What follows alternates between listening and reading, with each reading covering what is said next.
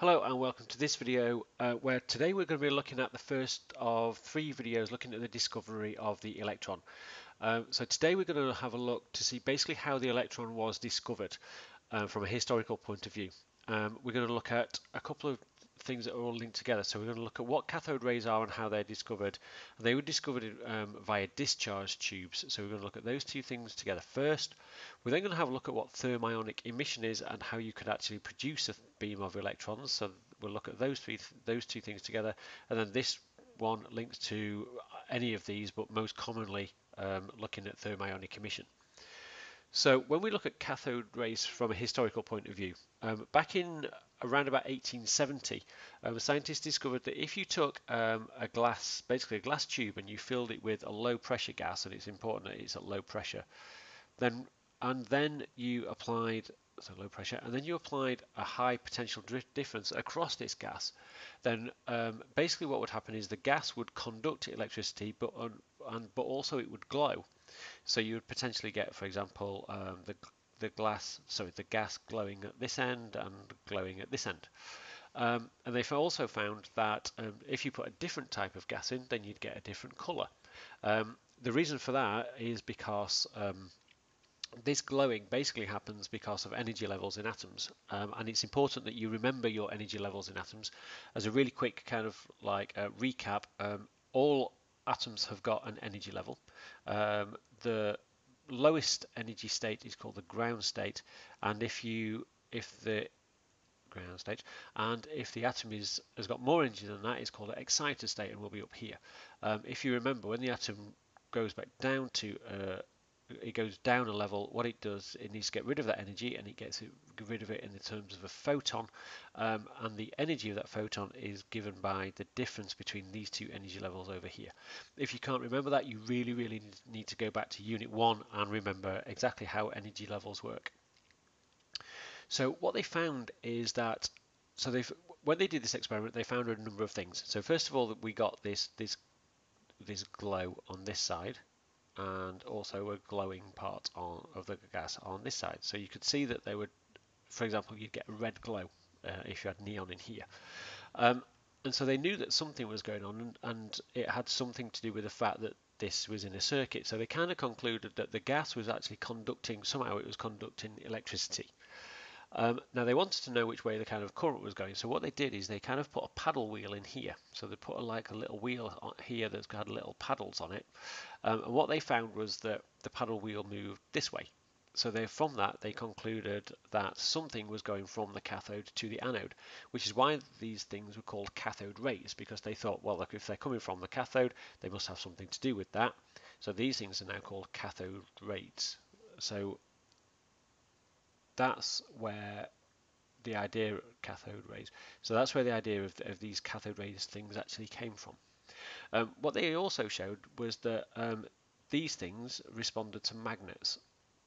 Um, and what they found actually was if you put a magnet here, um, then actually um, you could actually affect this on here. And that showed that the these basically you had charged particles in the gas um, and also then if you put a magnet here, what was happening is that these cathode rays were being deflected in a certain direction. They weren't hitting this paddle wheel and it stopped moving. So that these cathode rays were definitely coming from this direction over here. So the fact that these things were affected by magnetic fields must have mean that they are basically charged particles. So these cathode rays, they actually knew quite a lot about from these discharge from these discharge tubes. Okay, so importantly, these are the, these are the main points. The main points are that the, the gas glows, that when you put a paddle wheel here, it moved from in, from the cathode towards the anode, which showed that the cathode rays moved in this direction, and that if you put a magnet near any of these things, then it affected the cathode rays, which meant that these cathode rays things were charged. Now, from a modern day perspective, uh, we can actually work out what's going on here. So what actually happens is when you put, put this high potential difference we, we have a high potential difference. What this high potential difference does is it actually ionizes the gas atoms. So it ionizes these gas atoms. So basically we end up with positive and we end up with the positive ions and we end up with the negative electrons in this now in this thing. And obviously, because we've got an anode and a cathode, they'll be attracted in certain ways.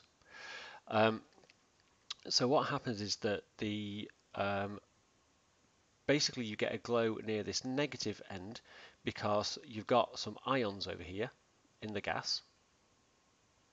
What they do is they attract the free electrons from the cathode and then they recombine to create neutral atoms. So, so the ions attract these and that gives you back um, your neutral atoms. Often these are in an excited state and then to get rid of that energy they emit a photon and when they do that so they emit a photon and when they do that that's basically the light that you see.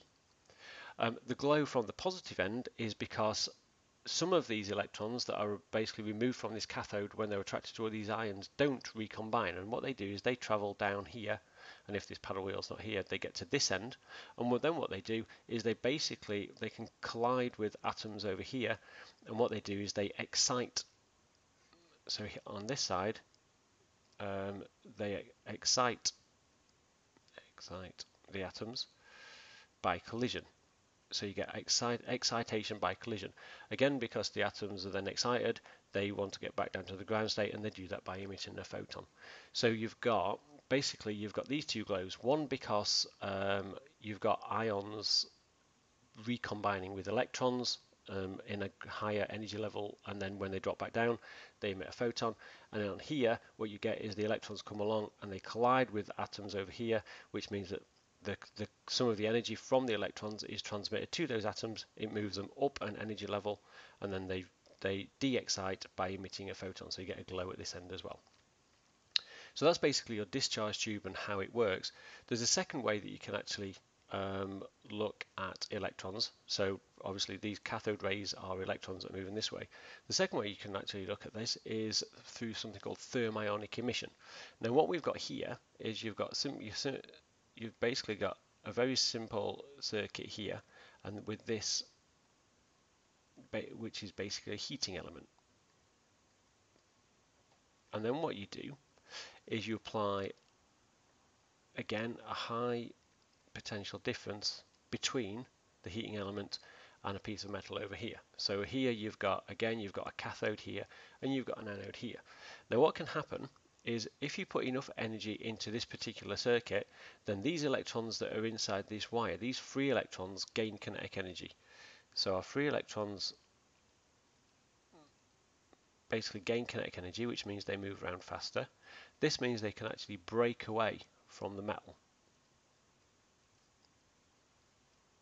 So they break from our metal. And basically when they break away from the metal, they then become free. Because they're then free, they get attracted towards the cathode. So for example, this one will go in this direction and this one will go in this direction and this one over here will go in this direction and they'll be attracted towards the cathode. Now most of them will hit the cathode apart from the ones that are created exactly here and move in this direction like this one for example and what this will do is this will basically go straight through the hole and then it'll just carry on going in this direction. So what you've done is you've basically created a beam of electrons.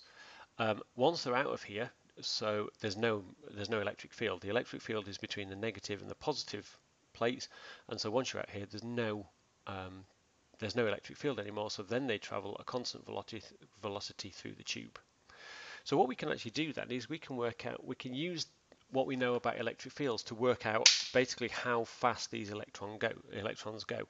Because we know, for example, the work done by an E field is equal to the charge times the potential difference. So if you remember back to Unit 4, um, if you want to know the, the work done by an elect electric field, it's um, to accelerate a charge, basically that's equal to the charge multiplied by the potential difference between your two plates.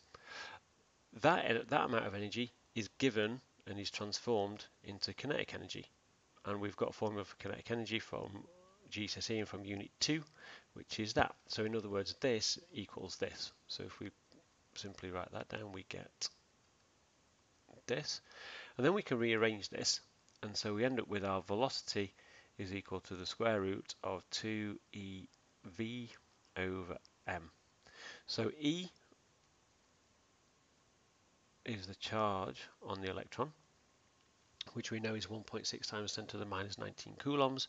V is the potential difference in volts, and m is the mass of our electron, which again we can go away and look up.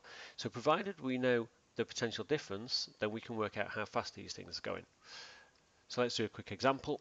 Um, here we've got, again, we've got thermionic emission, and we want to know the speed of electron when it's accelerated through a PD of 4,000 volts. So the difference between this plate and this plate is 4,000 volts.